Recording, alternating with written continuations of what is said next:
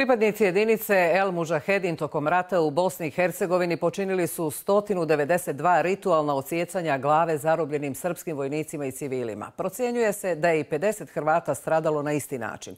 Za monstruozne zločine niko nije odgovarao, iako su počinioci većine zločina poznati. Takav je slučaj i sa Hasanom Alićem, koji je 1993. godine u logoru Orašacko travnika osjekao glavu Dragoljubu Popoviću. Suđenje je više puta odgađano zbog Alićevog psihologije psihičkog stanja, navodne nesposobnosti da prati suđenje.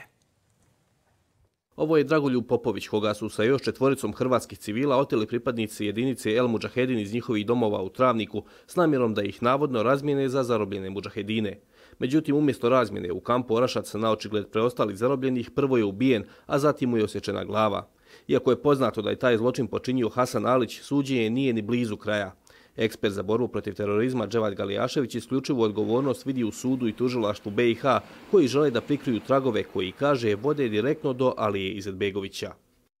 Upravo zato i suđenje Sakibu Mahmulinu, kao i suđenje Hasanu Alijiću, kao i raniji pokušaj da se sudi Šemsudinu Mehmedoviću zbog ritualnog odsjecanja glava nailazi na obstrukcije suda i tužilaštva BiH. Sud i tužilaštvo Bosne i Hercegovine su u stvari saradnici i oni su najveći problem ovog društva u tretiranju problema ritualnih odsecanja glava. Suđenje Hasanu Aliću više puta je odgađano jer navodno nije bio sposoban naprati suđenje, a uvjerenje o Alićevom psihičkom stanju izdaje klinički centar univerziteta u Sarajevu, na čijem je vrhu se bija Izetbegović.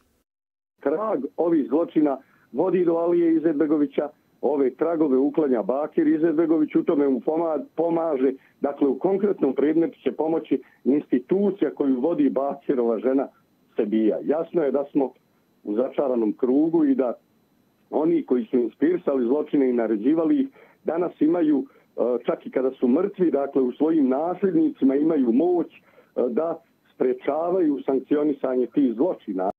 Dokaza za veze Ali Izetbegovića sa muđahedinima ima na pretek, a da je on jedini koji ih je mogao kontrolisati, govori i činjenica da su mnogi oficiri takozvane armije BiH tvrdili da nemaju kontrolu nad muđahedinima koji su činili ove zločine.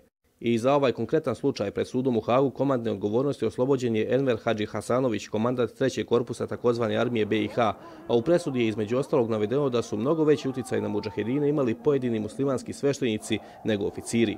I dok se odgovornost za zločine godinama utvrđuje ili pokušava sakriti, porodice ubijenih sve manje vjeruju da će pravda biti dostižna.